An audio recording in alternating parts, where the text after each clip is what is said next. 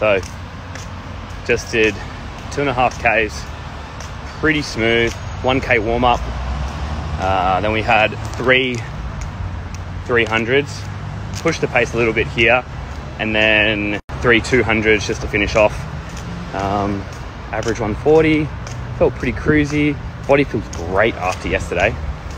And uh, tomorrow we run and ride. Good boy, Mr. Nielsen. It's okay.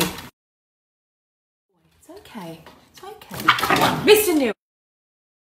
But if we take that variability away by doing it within a laboratory setting where we can custom make a fermented postbiotic matrix that's specific for that target food, then we can help the transition for people changing their diet. And then we can incorporate that back into the food. Wow. And man, that's like next level. Health no one's done that. Well, we may be, be, on the pioneering pioneering end of that, so that's good. Yeah.